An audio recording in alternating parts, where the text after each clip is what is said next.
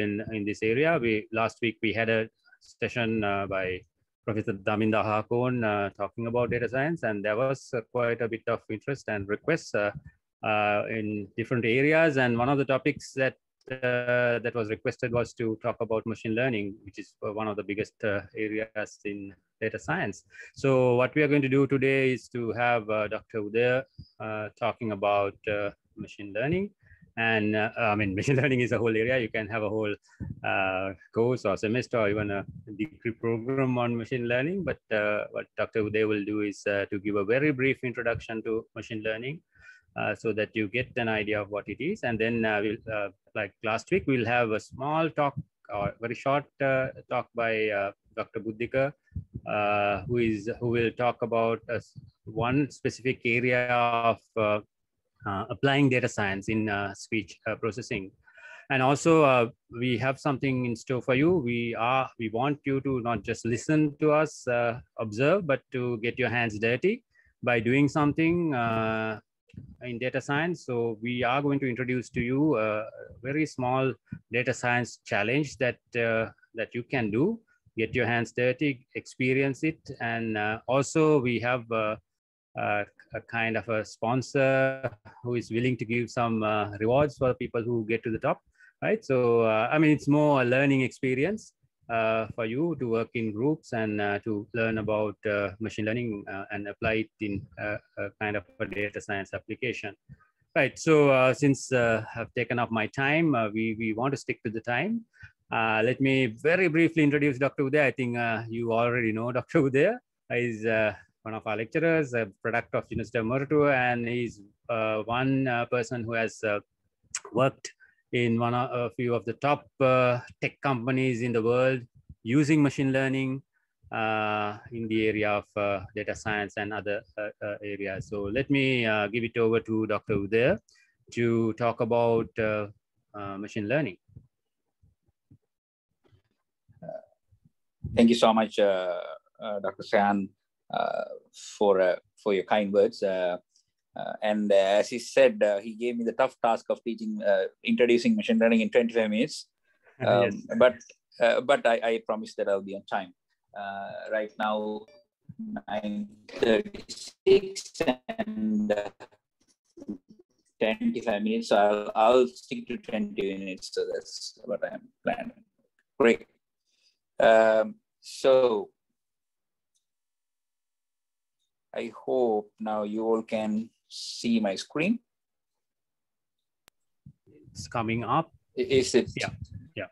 visible now? Now it's visible, yeah.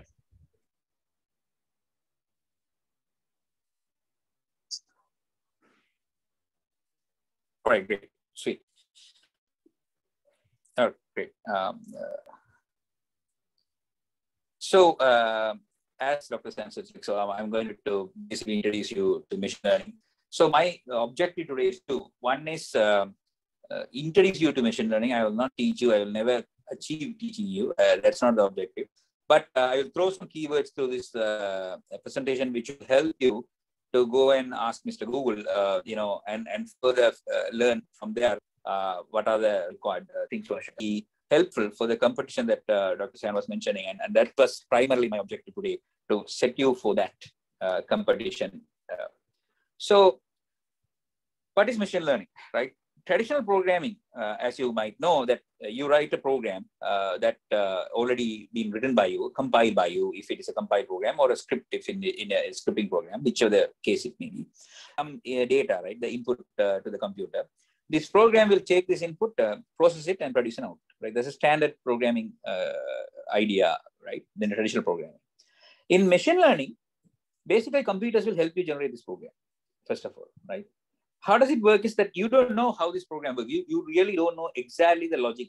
Like, you know, should I put an if and else? Uh, if, what kind of if condition I should put? Should I loop for 10 times? Or 10? You have no idea.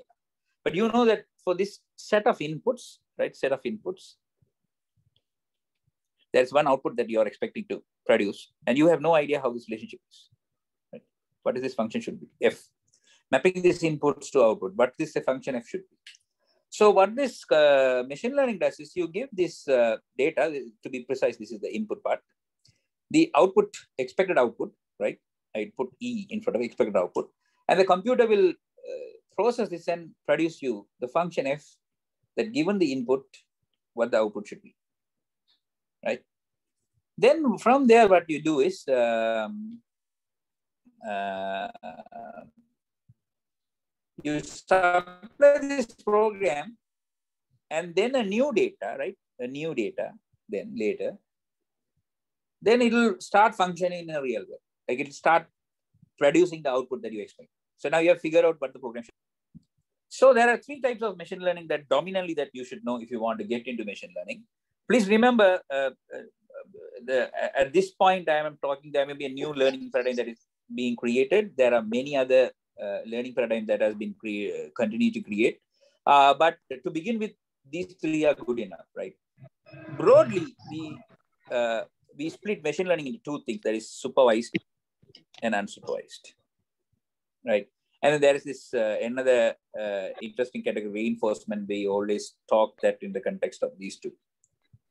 So what is supervised? As you can see, uh, you can see, it is learning with a teacher. Um, yes, is there a question? Uh, no, there, probably somebody forgot to mute. Okay. So um, the first thing is supervised learning. That means learning with the teacher. Uh, second one is unsupervised learning. You are learning on your own uh, type of uh, approach. The third is reinforcement learning, uh, learning, where like you reward for learning. So these are the three strategies that we use for a machine to learn, right? So in the previous slide, as you can see, like uh, we want the computer to figure out this function f, right? Uh, that's a relationship between input to output. To do that, there are three different dominant ways to do that, right? One is supervised, the other one is unsupervised, the third one is reinforcement. In supervised, there's a teacher who keeps telling what is right and what is wrong. In unsupervised, there's no rights and wrongs. You just figure it out on your own by using your cognitive ability. The third thing is, uh, you don't say rights and wrong, you basically reward for overall behavior right? That's the third uh, approach for machine learning. So these are broader concepts, like uh, keeping that at this uh, broader level of understanding at this stage. Uh, let's go a little further, right? What is unsupervised? So you'll be given a data, right? You'll be given a data in the unsupervised, please remember there is input data only. There is no target output that will be given to you. If you remember that machine learning, there is input data has two dimension, x1 and x2, and the data is given. Looking at this data, right? Uh, somebody here uh, coming up with an output saying, like, look, there are three groups in this data, right? And he's going to color them with red, green, and blue. And then that is basically the fundamental idea of unsupervised. Right? You figure out what the target should be, and you kind of come up with the function that says there are three groups, what these uh, you know groups are, and who is going to what group, and etc. That's that's the classic idea of unsupervised. If you're going to supervise, right, you'll be given this two-feature input data as well as you'll be given these are the colors. These are the three groups that exist, right? The question to you is the question to you is in the supervise is right. When I give you a new guy like this, can you tell me which color he should belongs to? To do that, you come up with something known as a model, right? The function that we were to keep talking about, the f function, right? This model, right? The model here is these three lines I have drawn here, the black lines. After you know this model, that is known as decision boundaries. This is sometimes called as decision boundaries. As soon as you know these three differences, now you know when a new guy come, how do I color him? Which color he, uh, or which group he belongs to, right? So here, with this input, that decision making is difficult for a computer. As soon as a computer is given these three lines alone, right, and a new guy like this is given, you're all good to go to say which color he belongs to. And that is classically what is known as supervised learning, figuring out this model or, or decision boundaries, right? Well, I'm, I'm approximating certain things. Those who know machine learning well know, like, okay, where is regression that fits? Is it only classification? That kind of thing. Don't worry, this is just an introduction. So for those who are getting into machine learning, this is an introduction. That's the whole idea, right? So there are some approximation here that as you learn further, you'll find out that some of the things I'm saying is not completely true. My presentation, I'm, I'm well within my time, I believe. Uh, so uh, which is going to tell you how you're going to work on this hackathon, right? So here is the steps. Here are the recommended steps. I uh, so as you go from left to right, uh, it needs a little more understanding about machine learning and a little more reading about machine learning. Uh, and as well as uh, with the experience that you will learn the, the, the right hand side parts a lot more strongly than the left hand side part broadly. So first what you do, should do is like given a data, you should clean it, right? Whatever the data that is given to you, you should clean it, right? So for you, you'll be given some sort of data like this. Uh, the input part, the F1 to F4, we call them features or attributes, and the target that you are supposed to predict, right? This guy. So, um, sorry.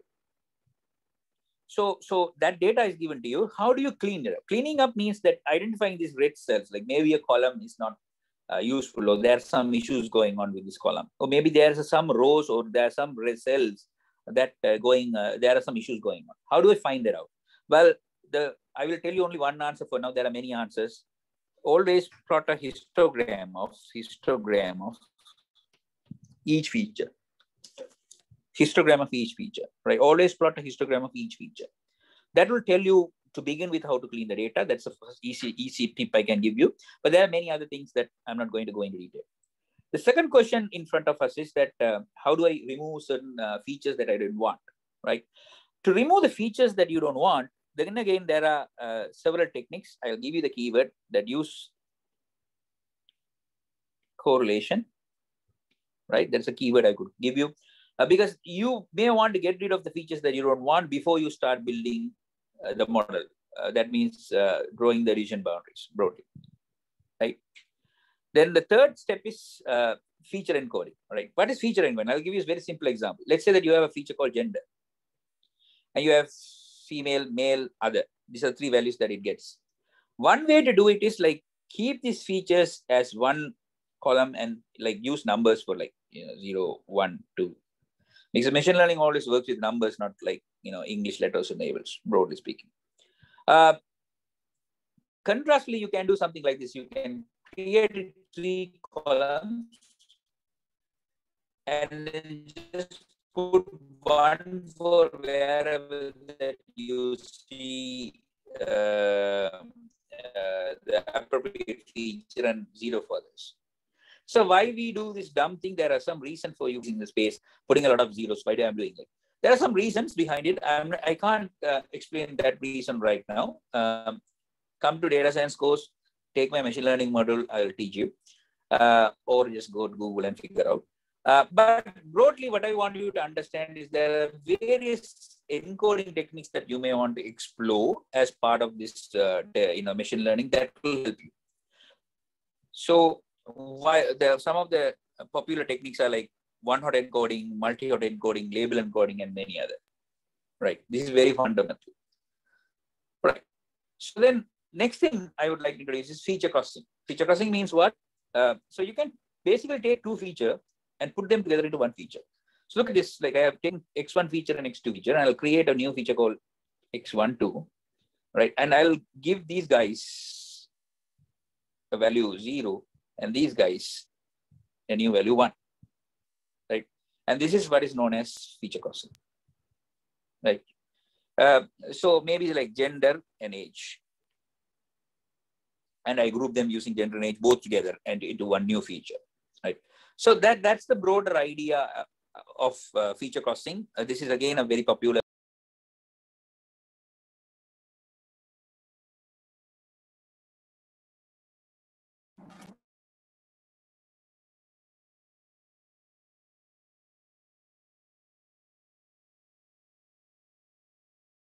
I lost you there. Yeah, we I also lost. I think uh, there's a bit of a connection issue. Uh, let's give a few minutes. I think he should be able. To, he's there on. He's on the, there with there. Yeah. Ah, yeah, coming yeah, back. Yeah. Coming back. It's a temporary glitch. All right. That's a classic example of outliers.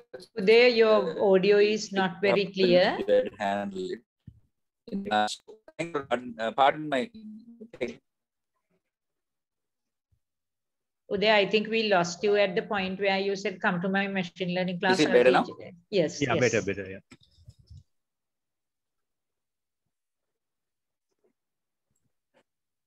Yeah, yeah. Is it is it better now? Audible now? Audible, uh, Audible, screen but- sharing is not, yeah, I, I'll, I'll go back to screen now. Uh, yeah, okay, yeah, yeah, yes. Sorry, sorry about that. Okay. Yeah. So, so um, uh, I, I hope that uh, you guys you guys broadly got the feature crossing. So, uh, you have started with the data set features and a target, and then you you basically do some magic here to correctly make it into a uh, a, a, a, a, a friendly sort of outcome for machine learning, right? Uh, after you sort of do this, then um, uh, you know before you start modeling, there is another thing that you might want to do is feature selection and ranking, right? So what is feature selection and ranking is that uh, basically you don't want to use everything that is given to you as it is. Sometimes you have to drop it, sometimes you have to convert it. Uh, to do this, you have to pick the best and try, right? Um, this is very important in machine learning because uh, this really defines the success of the ma- ma- machine learning outcome. To do that, uh, and again, there are algorithms uh, uh, developed for it already. They are like uh, feature ranking algorithm and feature rank selection algorithm. Again, the correlation uh, might help you here, um, as well as uh, there are various kind of correlation to begin with. Um also, information content is another angle to look at it.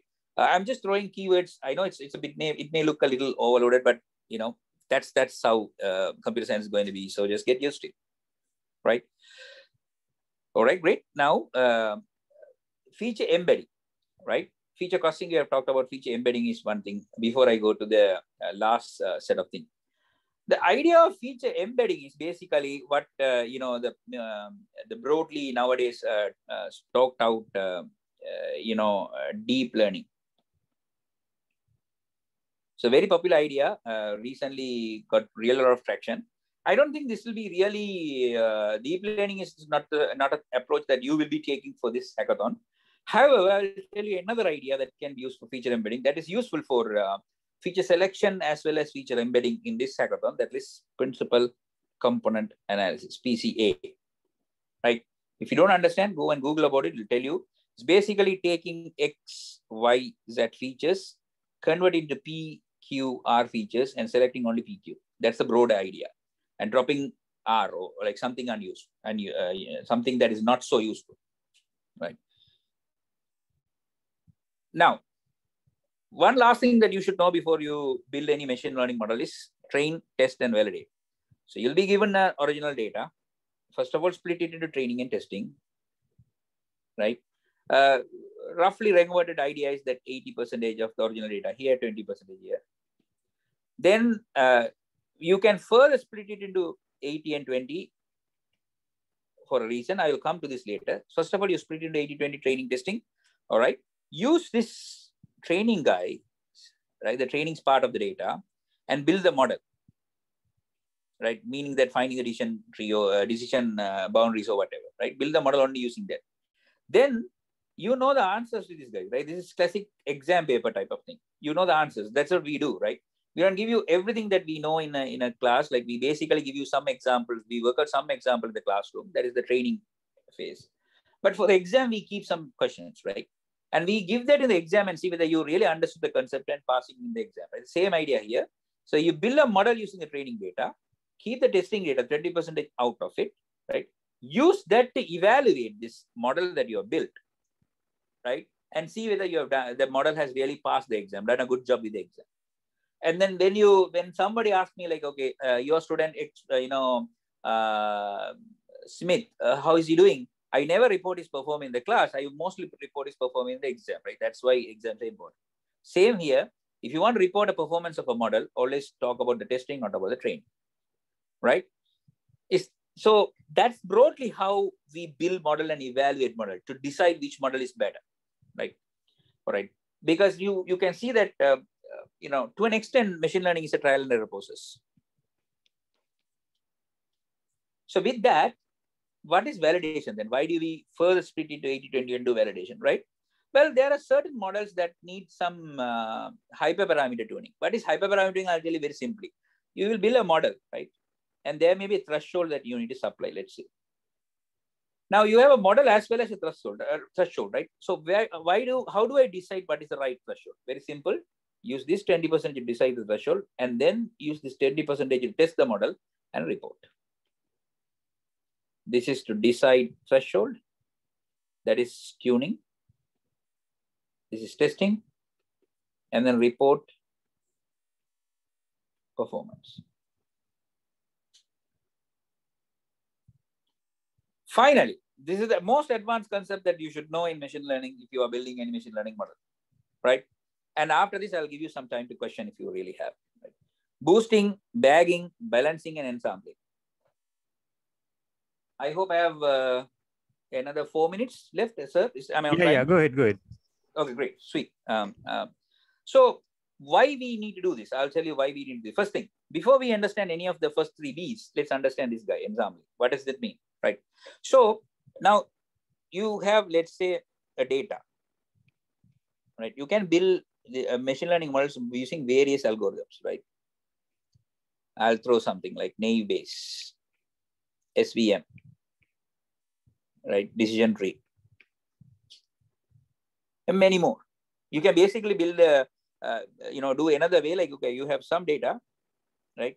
I did some feature selection algorithm one and another feature selection algorithm here, right? Some portion of the data I used and build a model one and model two and evaluated model one performs 80 percentage or something. This is 78, right? So this is a classic practical situation that you will face. Now, how, what kind of algo, what, which one I should choose? Should I choose model one or model two? Right. So it's a no-brainer. You choose the model with the highest test performance, right? It's a no-brainer. However, later machine learning uh, experts have figured out like why do you want to throw this m2 guy? Like he may be also useful. Just build a team out of these guys. Like that's the whole idea of ensembling broadly speaking you build one model here another different models here like you know various kind of models here. Um that sorry my bad. Um, how do i undo here? Okay. These are the models. Different models using these different models, there are different uh, decisions that are given. Like uh, first two models gave one, third model gave the two as answer, the fourth model also giving one as answer, right? You merge all the answers and then use something like majority voting, like give the give the answer that's given by many people, basically. Right. So that's the idea of ensembling. Don't just pick one model and move. Like if you build multiple models, why don't we use all of them together in a smart way possible? right? To do that, there are various ways to sort of merge them, right? That is where boosting and bagging come into the picture. Bagging is basically if you have this much of data, let's say that I gave you uh, 2000, uh, you know, examples. Remember this table features here and target as the predictor. One, two, three, for this 2000 example here, right? So then I will randomly sample like 1000 uh, from it and then build models from each of this random sample of thousand. That's overlapping sample, that's okay. Right. Then use all these models to build a you know meta model or like voting. Just merge them using one way or the other. That is bag. Well, boosting, do the same thing, but in a sequential way. Like we will basically select a, some portion of the data, build a model, then another portion of the data, and append the model. And basically, we just improve the model in a sequential way and then finally come up with a better model. These are two approaches in, uh, you know, uh, towards doing the ensembling. Again, as I said, probably I'll spend uh, roughly 30 minutes if I teach it in a class, which I did in 30 seconds, so you can understand how much I can really chip in here. Finally, balancing the other part before you do a model building check your class uh, number of times the target variables over a class, distribution of the uh, target variable. Let's say that you are trying to predict uh, an email is spam or not spam, right? So you would expect the spam emails here and not spam emails here, let's say. Maybe other way around, that's okay. So if this is how your data is, right? You have really large number of one class and really small number in the other class. Before you do building, you have to balance it out you can you have two ways to balance one is undersampling other one is oversampling which one works better well nobody knows right you have to try try it and trial and error again there are some recommendation but broadly it's a trial and error process right? So undersampling is basically randomly choose only necessary amount from the large guy. Oversampling means just repeat uh, this orange guy is enough to fill it up up to the blue guy.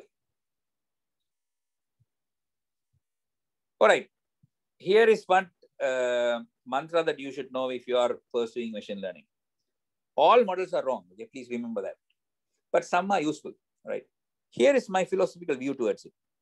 This f guy, remember that function f I told, right? Think that nature or the God here, he knows the right f. And here we will have the data. We will keep trying to figure out this f guy. And this f is really complex, okay? It's infinitely complex. So in this process, we will never reach this. We don't need to. But as long as you reach a point that is useful, good to go. And that is exactly George Box uh, said in back in 1990. Right, all models are wrong when it comes to machine learning. Pretty much all models are wrong, but as long as it's useful, you're good to go. Congrats! You finish the crash course. Uh, short course on ML.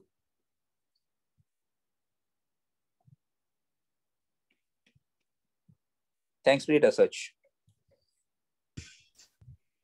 Thanks the, yeah.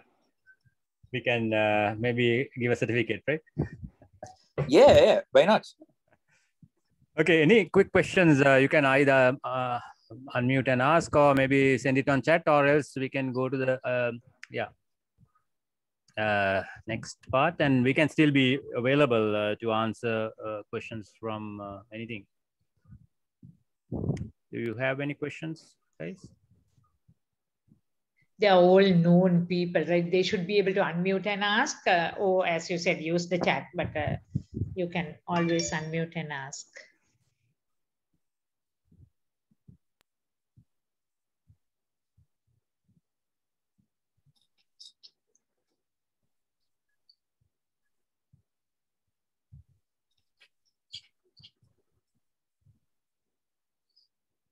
I think I overfit, overfit the data.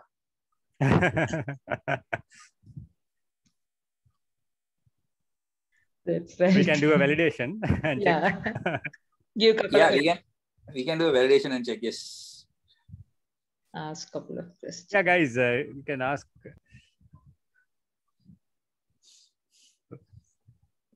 Let's, uh, yeah, gradually see whether we could move towards that. Uh, I, I'm pretty sure you'll have a lot of questions uh, when I describe to you about the uh, uh, the challenge that we have. Right. So, shall we go to uh, Dr. Buddhika and quickly get back to the challenge uh, description of the challenge? Sure, sure, sure. Yeah.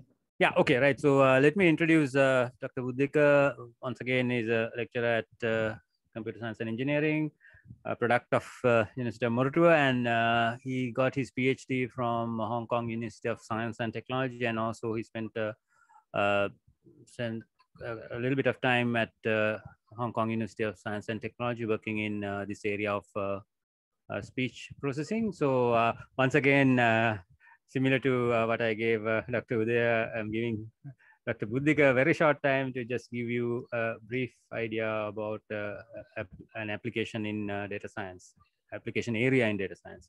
Right, uh, over to you, uh, Buddhika. Thank you, Dr. Shan, for the kind introduction, and uh, many thanks for Dr. Uday, Uday as well. It was a very informative and uh, useful session. So uh, my part here, uh, as Dr. Shan mentioned, would be very brief, briefly to introduce an application area, which is speech processing. I hope uh, I'm audible uh, to everyone. Yes, Dr. Buddhika, loud and clear. Thank you. Uh, all right, so let's get started. Uh, so I uh, prepared a little bit of uh, um, some of the uh, points that I'm going to talk about because uh, speech processing uh, in overall, it's a huge uh, area of uh, study and research.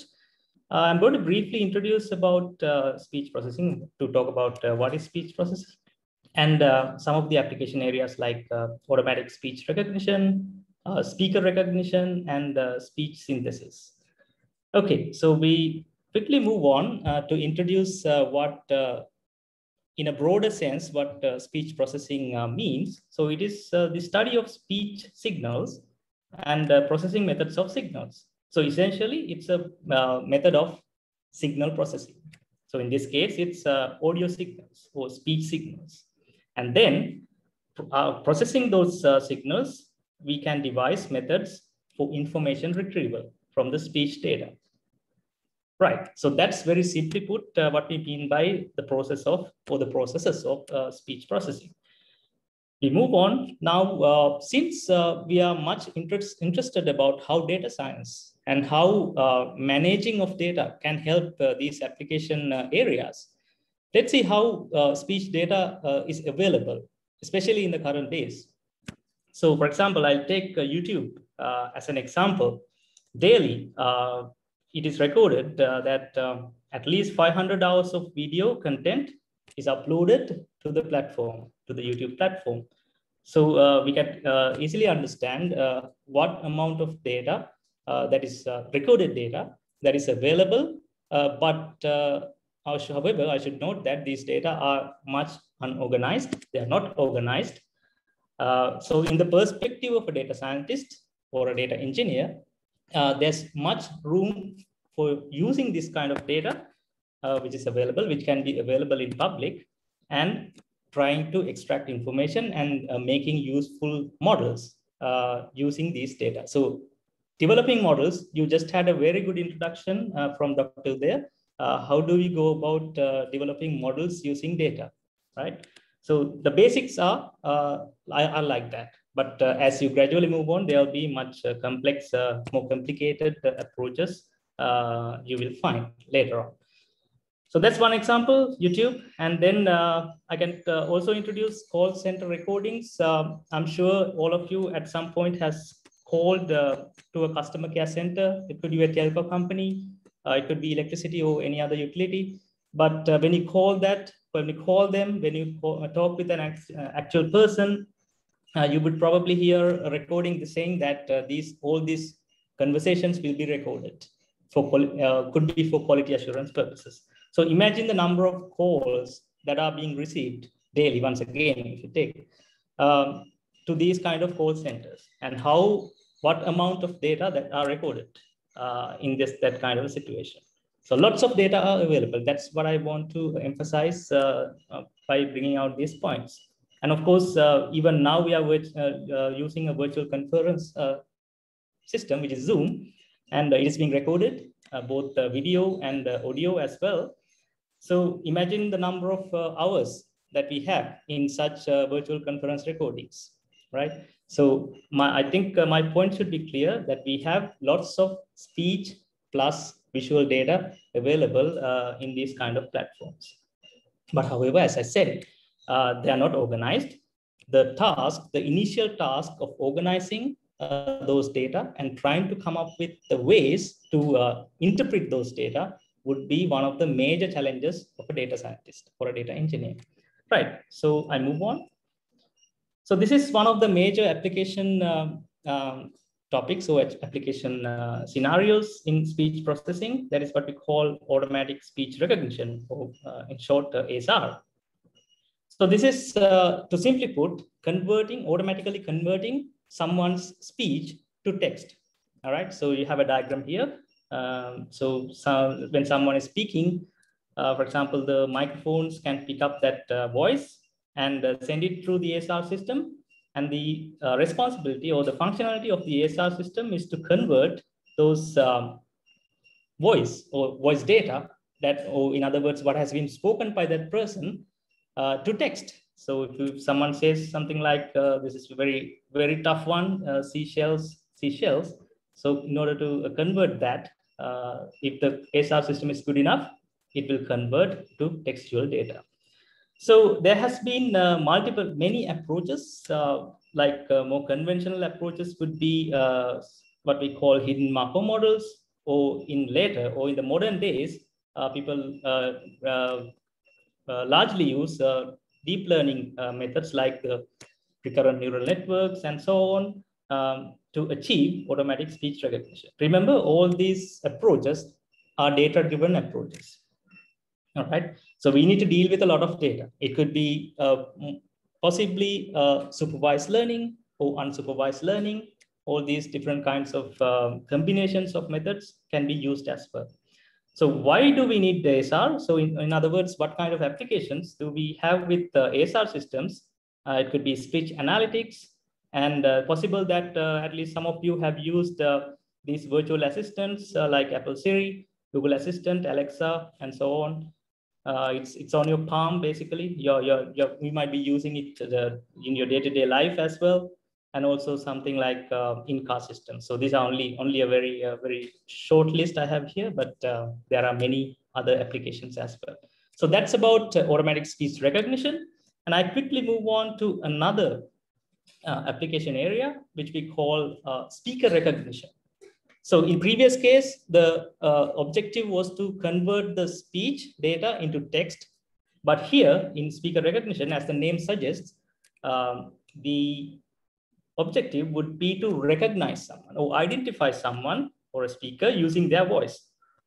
Okay, so in application, um, speaker recognition systems could be uh, in, uh, in two main categories, uh, speaker identification and speaker verification. But I'm not going to go into much details uh, about these things uh, as uh, as uh, I mean, basically you can uh, dig more information about these topics. Uh, if you basically go to Google and do a simple search, you believe there'll be lots of information and there'll be lots of uh, research work that's related to these areas.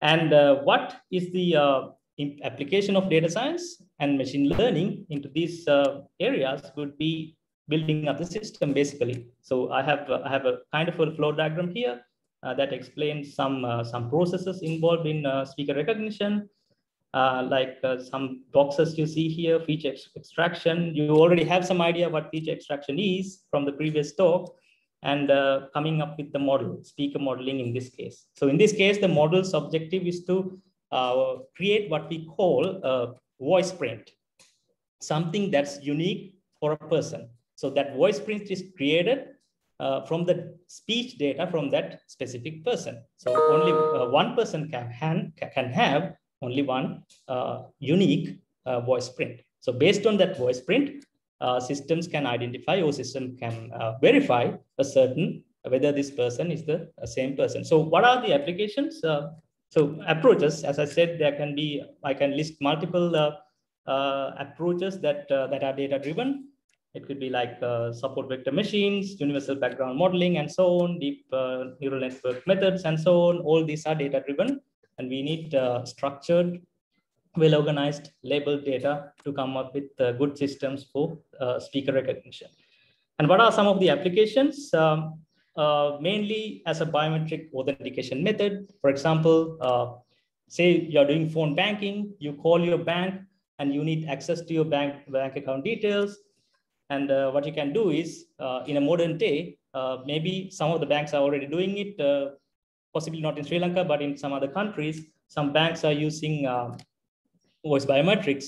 Uh, so basically, when you call, the system can identify your voice. So rather than giving out a password or a passcode in, in, in like in traditional approaches, what these systems do is you they try to identify using your voice. So we call it speaker recognition approaches. And also it can be used in uh, digital forensics and so on. Right, quickly moving on to uh, another uh, application area, uh, which is called speech synthesis. So in this case, so if you have experience in using uh, personal assistants, uh, you know that the assistant can understand or can decode your speech as well as generate some speech, right? So generation part is, uh, is what we call speech synthesis, or also called uh, text to speech. So in a, in a, in a, in a uh, common uh, personal assistant like Apple Siri, they use both the ASR, that is automatic speech recognition, as well as uh, speech synthesis systems combined together to come up with that uh, personal assistant, right? So the concept is like that. So in other words, it's artificial production of human speech. So I have an example here. Um, so let me try to play that. Hopefully you can hear it. And uh, perhaps you can tell me who that person is. The United States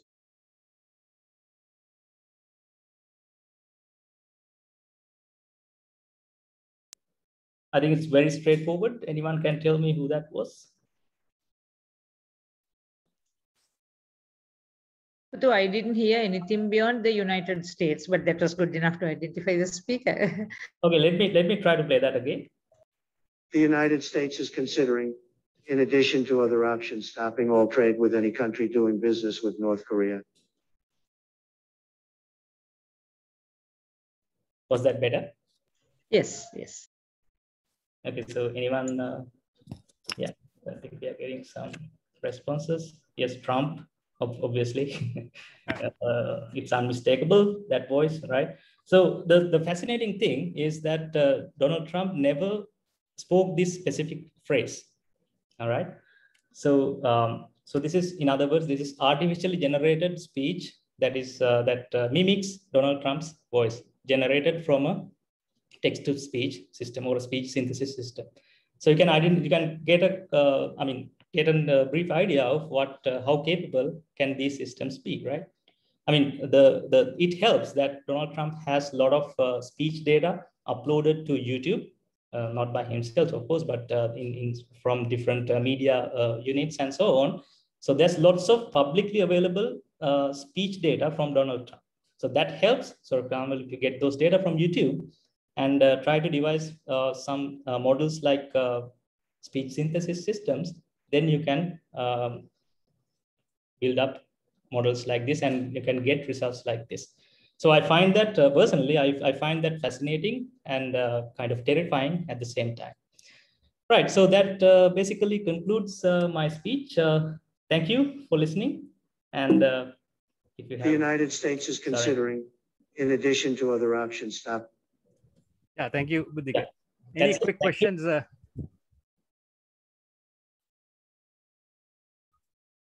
Any quick, uh, quick questions on uh, what Dr. Buddhika shared and also Dr. Udaya shared? Um, a lot of information to process, right?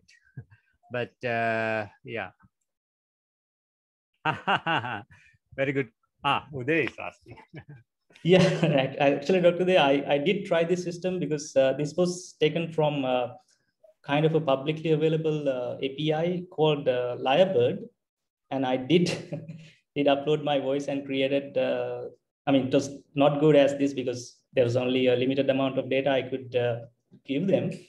Uh, so it's in a way, in other words, uh, if you look at it from another perspective, they have more data, right? They have my data as well. So it was not as good as this, but for Trump, they have a lot of data. Thanks. Noted.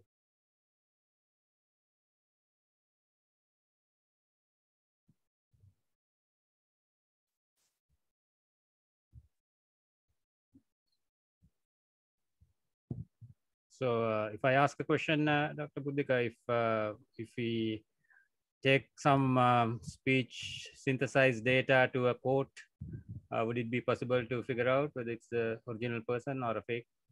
Uh, I, I'm not uh, very sure about the legal uh, uh, background about that, but I believe uh, at some point, yeah, technically, yes.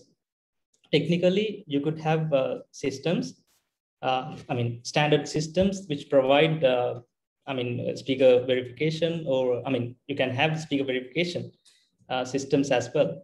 Uh, I mean, uh, or you can have other systems to detect whether this is the same person or or a computer is doing it. So in that case, we also we call it spoofing detection. Yes, technically that's possible.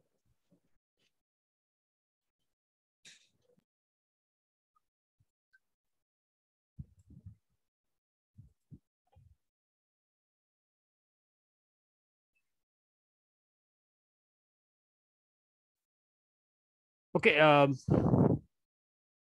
shall I uh, then, because we have about another 10, 12 minutes, uh, you can continue to ask questions, right? So if you have a question, uh, continue to ask on the chat. Uh, uh, we will respond to it. Uh, let me let me share what we have on store in store for you as part of a you know, machine learning challenge or a data science challenge.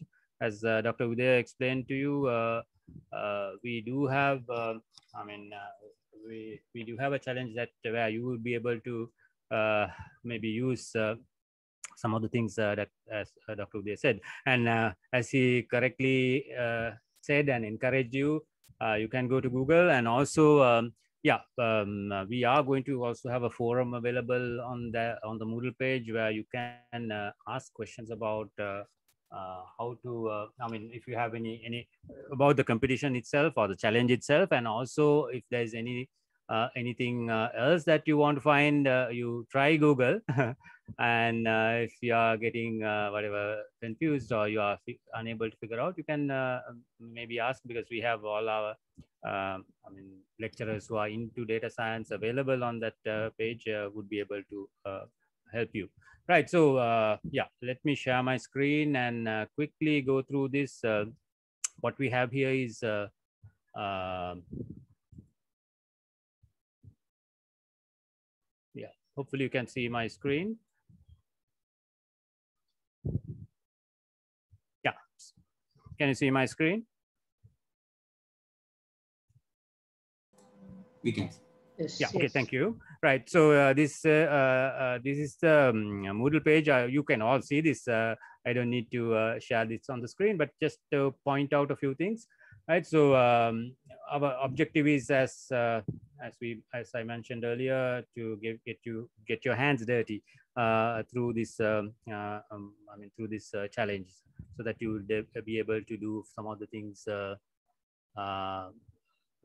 be able to do some of the things uh, that uh, that was explained. Right. So to do this, uh, we have to put some uh, rules and regulations or some uh, what you call uh, framework. but main objective is to have fun and get gain some knowledge. Right. So what we have said is we'll make it into a three-person group, and minimum also three, maximum also three, and then you can either. I mean, we are going to use a, a platform called Kaggle uh, I will show you uh, after I uh, go away from the Moodle page, I'll show you the platform that we are using right? So you can either uh, make a group uh, i mean you have to make a group on this uh, moodle page. Just any any any anybody who is available in this moodle page we do have uh, Uh, second years and third years uh, computer science and engineering students available here. Uh, either you can have it from your group batch or cross batches, uh, whatever you like, right? Make it a three person group. But you, as I said, uh, you have to make your group in this. we have a group selection available, right? So uh, you need to select your group here and then only you should uh, uh, try to take part in it.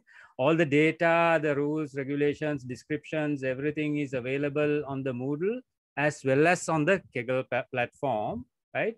Uh, but why we are making it available on the Moodle is to uh, take advantage of uh, the data-free opportunity that we have rather than uh, if you if you access Kaggle, Kaggle is actually a, outside uh, website, not uh, whitelisted uh, for free data, right? But uh, we would like uh, you to use it there so that we can we will be able to monitor the the what you call the the group I mean, who is on the at the top. If there's there's a leaderboard uh, available on, Kaggle that would uh, enable us to uh, see who is at the top and things like that.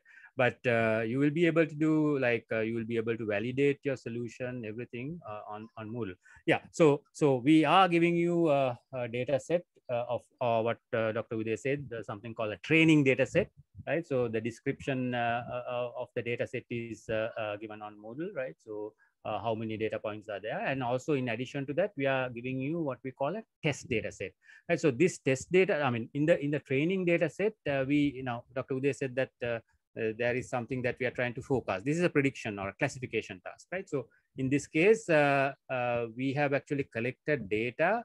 We have put a sensor, a few sensors outside on, on, a roadside, and then we have collected the data while the vehicles are passing through or through through the road, right? So we have collected, and what we want to find out, I mean, we have collected it for something else, but what we are going to do here is to uh, be able to come up with a system or a model, right? A machine learning model that can say whether there is a vehicle on the road or not, right? Simple, one or zero, yes or no, right? So that is what uh, you need to do, right? So in the training data set, we have given you when the vehicle is there, when the vehicle is not there. In addition to that, all the readings that we have collected from our sensors, right? Lot of readings, right? Some may be useful, some may be not useful, right? So that is what Dr. Uday said. Uh, we may need to select what data uh, columns are important and not, right? right? And then in the test set, we have all again given you all the readings, right? All the readings are given, but one column is missing. The yes, no column, whether the vehicle was there or not is missing, right? So what you need to do is come up with a model to tell us uh, whether there was a vehicle at that given data point or not, at that given uh, point in time, whether there was a vehicle or not. So you can do that. You build your model and then you can uh, validate it, right? So uh, uh, we have uh, in this page itself, we have, it's not available for you yet, once you belong to a group, it will be available for you. I will show you. We have kind of created a, a, a, quiz within the Moodle that would allow you to uh, submit your answer, the solution. I mean, there's a format uh, how you need to give the solution. All the instructions are given on, on, on, on Moodle. And uh, you can drop it here and then uh, see how well you have done, right? So the, we won't say exactly this data point was correct this data point was wrong. I mean, even in an exam paper, your lecturer or the teacher will tell you, this is this question you got it right, this question you got it wrong. We are not going to give you that. We are going to tell you overall how well you have done, right? So that, uh, uh, I mean, if you give that answer, then uh, it's uh, the challenge is going to be easier, right? But so what we're going to do is we are going to tell you overall how many uh, data points did you get get right, right? So from that you can get an idea of how well you have done. Right. Any any questions while I go to Kaggle and show you the platform that we are going to use? Any any questions? Others also. I uh, hope you will uh, uh, look at the chat and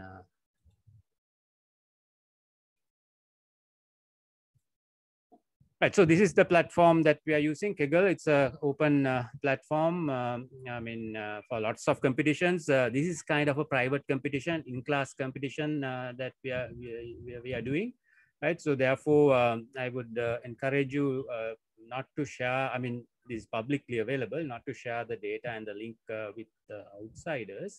Um, try to keep it within, within ourselves um, yeah, so um, uh, all the information that is available on Moodle is also available here if you want. But as I told you, if you go here, you might, uh, uh, you will be uh, charged for the data access. Uh, but once again, remember, you need to, uh, I mean, for you to be counted for what do you call, yeah, we do also have some rewards, as I told you uh, for that you need to make sure that uh, you submit it on on Kaggle, right? So uh, that is, uh, and we do have a leaderboard at the moment. There's no nothing on the leaderboard, right? So uh, finally, when uh, let me show you.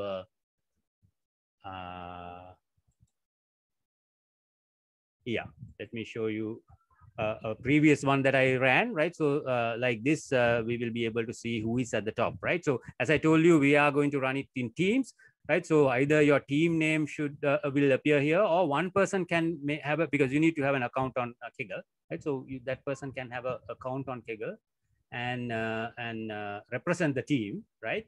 And uh, uh, whatever he submits on Kaggle will be evaluated automatically on at that time, and uh, we will be able to see that on the leaderboard, right? That's um, yeah. So yeah, so I didn't explain that part. Uh, this uh, evaluation will be done in two parts. One is what we call the public uh, part, right? So public is where each day, twice you can submit on Kaggle. On Moodle, you can submit uh, every six hours, right? So we put some restrictions. We don't want you to be just without uh, without understanding the machine learning model we don't want do to just throw answers at the system and try to figure out what is right right? So we don't want you to do that. So there are some restrictions right? So uh, part of the data set uh, will be used uh, uh, to tell you how well you are doing. And then we have also kept a few uh, data items to check ultimately how well you are doing because ultimately um, uh, I mean, at the end of the competition, uh, how well you are doing, right? So there is what we call a private leaderboard uh, that we will uh, uh, that we will reveal only at the end, right? So the ultimate winners will be selected based on this private.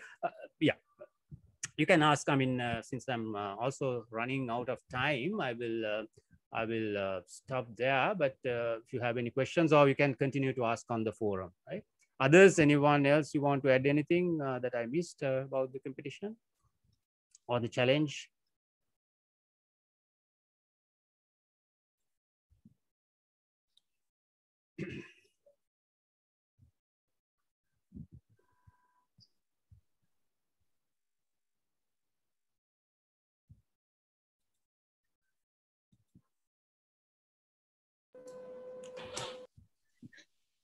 So everybody is overfitting the curve, right?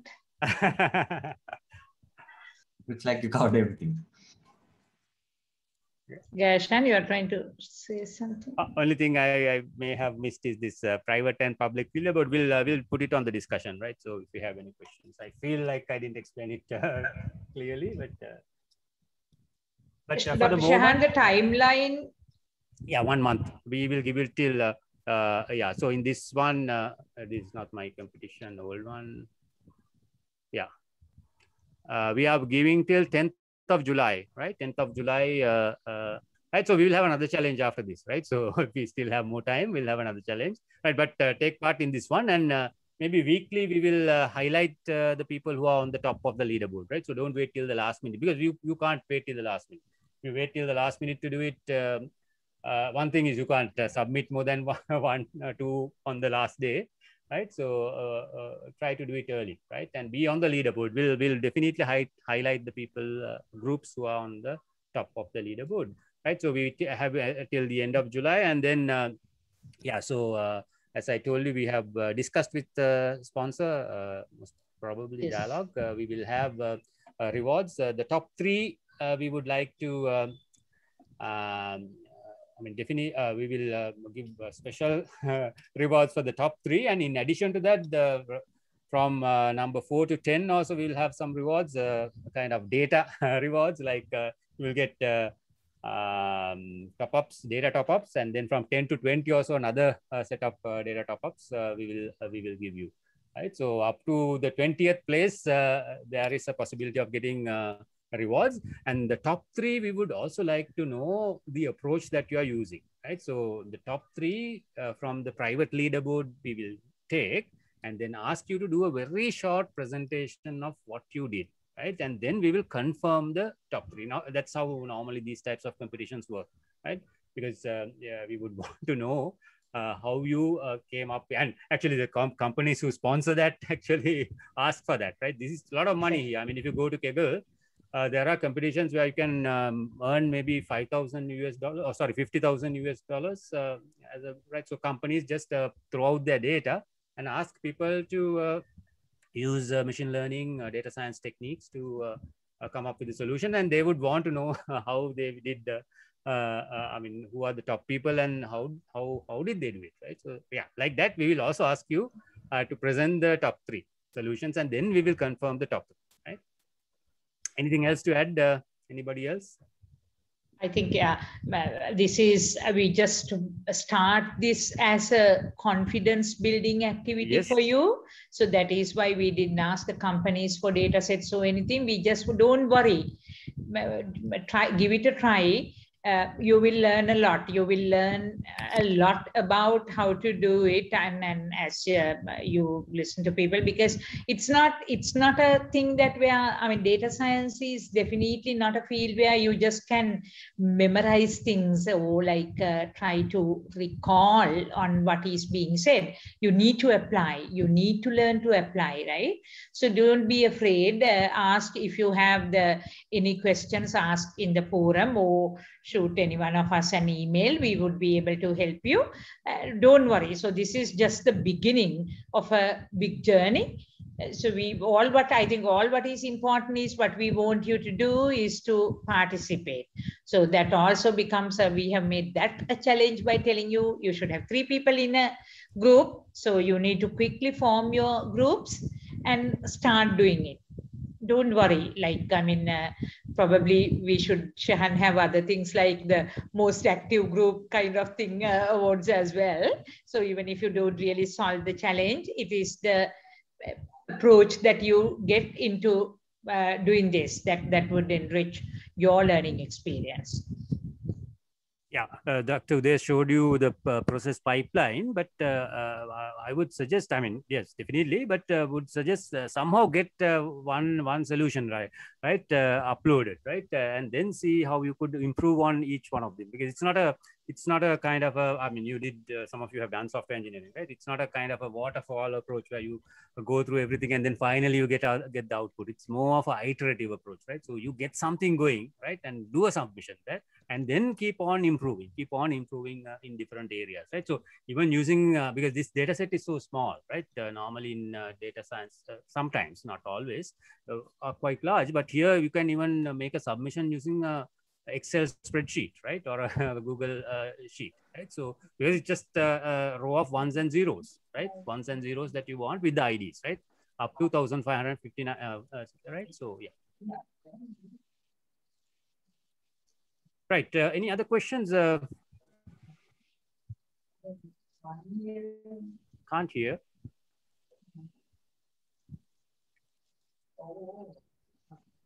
Maybe uh, Somebody is not on mute. Um, it's Gaishan is talking, I guess, but we are not able to hear. I think what happened was Gaishan is in the other meeting. I kind of ah, unmuted okay. it for them to hear that this meeting is still going on and that came back from his mic. I see. Sorry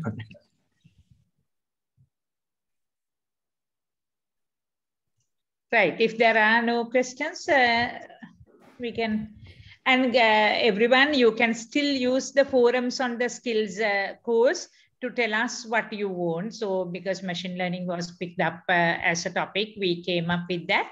As you see i mean there are a lot of dedicated lecturers in the DataSEARCH group. DataSEARCH group is also involved in uh, ma many interesting uh, research work. So we we are willing to share with you whatever you want all what we want from you is to tell us what you would like us to elaborate more. Dr. Shehan, if you can go little up on the course um, yeah. to show that there is this, right? How can we collaborate? Uh, and oh, yeah, I, I, will put another feedback thing on that. Uh, so please do tell us and uh, uh, we will be putting the recordings also. As you can see, the recording of the previous session is up there and we will put the second one as well let me add one more thing. Uh, we do have another thing that you can do. I mean, in, in data science, a lot of times we need to, uh, I mean, uh, have uh, labels on data, right? So to to uh, uh, to train these models, right? The training data sets, sets come from having labels on data, right? So one another application in vehicles, right? So you have a video of vehicles, and then we would want to find out what uh, what vehicle that is, right? So there is, uh, we have uh, prepared a, small uh, data tagging. It's called data tagging task. And uh, uh, I will I will have that available on the Moodle. So if you are interested, you can try on that. And I'm and also, I mean, we, we are willing to give some rewards on that task, right? So for the number of tags that you put, right? So it's not, yeah, right? So I will I will have some information on that. Right. Uh, yeah, we can close here or do yeah. we want, yeah. Any other questions uh, from the group or uh, we will uh, meet next week, right? Uh, yeah.